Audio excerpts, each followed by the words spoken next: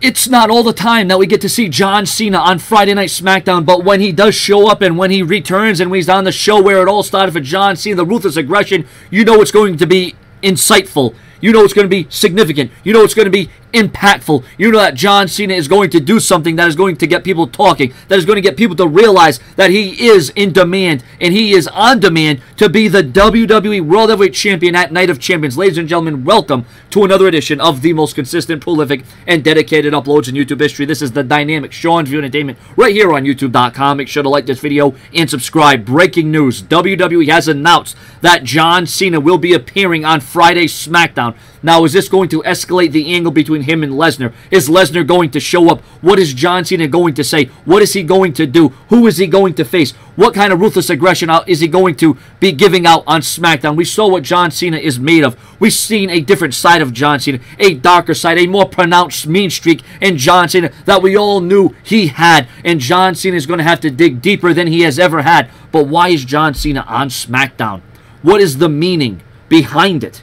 You got to know that John Cena is going to have something on his mind. There's got to be some kind of a plan in motion for John Cena to take out somebody. Will hell be unleashed like we've seen Cena do not only last week on Raw, but also this week on Raw? Although the hell wasn't as hellacious as it was last week, but that mean streak, that dominance, and that satisfaction that John Cena gets from hitting in an AA or an STFU or making someone tap or making someone get knocked out or making someone say you can't see me. SmackDown, where it all started for John Cena, going all the way back to 2002 when John Cena took Kurt Angle to his limits. Yes, all those years ago, and John Cena still stands tall the test of time because who and what he is all about. But John Cena is going to have to go to places he's never been in his entire career. And he may have to dig up a John Cena from his past that he never wanted to do. John Cena may have to do things he's not pretty happy of or proud of. But if John Cena is going to succeed, if he's going to get one over Brock Lesnar, John Cena is going to have to go to all-time lows. John Cena is going to have probably have to stoop to levels that not even he thought he was capable of doing.